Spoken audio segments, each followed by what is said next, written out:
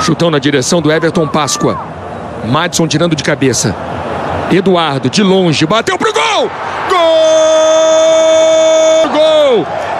Eduardo, veja mais uma vez, de muito longe, no canto direito de Martins Silva. Eduardo, um pro Ceará, zero pro Vasco. O Ceará sai na frente com o gol de Eduardo. 1 a 0 Ceará. É